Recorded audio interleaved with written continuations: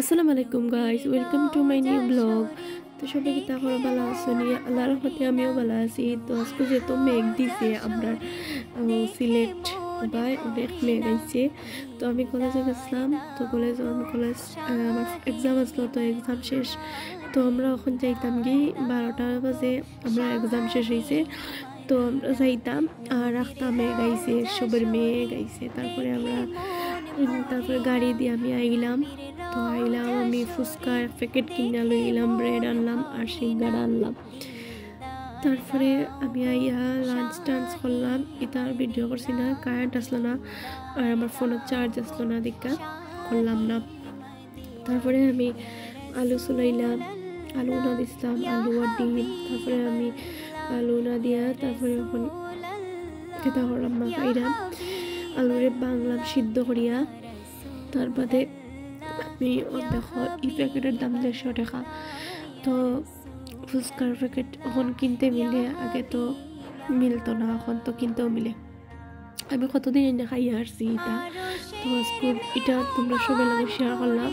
তো মানুষে সবাই কিতা করে, ও মটর দিয়া ফুচকা বানায়। তো আমার মটরের ফুচকা একদম ভালো লাগে না। আলু দিয়ে খাইতে আমার ভালো লাগে। তারপরে আমি তেল দিলাম লয় তারপরে গরম করলাম। তো এখানে দেখো কয়টা ফুচকা বাঙ্গা প্যাকেটও। আর কিছু কিছু ফুচকা ফুলছেও না। আর আগে যেটা আসলো, একটা সাদা প্যাকেট আসলো, তো এটা ফুলে যাইতো। তখন ডিজাইন করছে প্যাকেটটা। ওইটা এটা ফুলেও না, একটু একটু ফুলছে। আচ্ছা যাই হোক, ভালো হয়েছে দেখো কত সুন্দর হয়েছে ফুললা মোটা হয়েছে অনেক মোটা হয়েছে ভিডিওর মধ্যে দেখা যান না। তারপরে আমি একটু মানে গেতা করছি, বেশি দিলাইছি তারপরে দেখো লোয়ার মধ্যে ফুললা উঠছে। তারপরে আমি বেশি জাল দিলাইছি না নিয়ে একটু খালা হয়ে গেছে।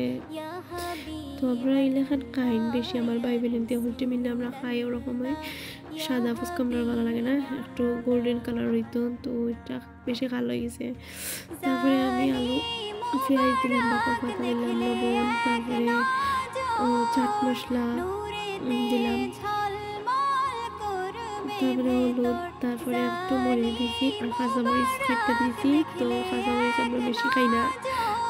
আমার বই নিতে খাইব ছোটো ছোটো ভাই নিতে, তো তারা জ্বালার মধ্যে আমি একটা দিয়েছি? আর না। তারপরে একটা টক দিলাম। আমি তো তো ভুলে আগে লগেই থইছিলাম কলেজ থেকে আইয়া।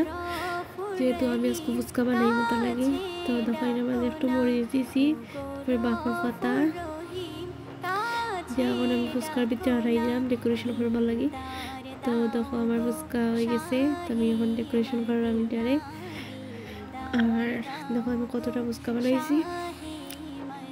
অনেক মজা হয়েছে গরম জিনিস দিয়ে বানানি যায় তো অনেক মজা হয়েছে ভালো লাগছে। তো এটা একটা চিপসের না চকলেটের বক্স তো আমি ওটা লই লইছি, একবারে ফুচকা ঘরের মতো বানাই লইছি। তো আমরা আমার ওর আসলো, দিয়া খাই লইছি।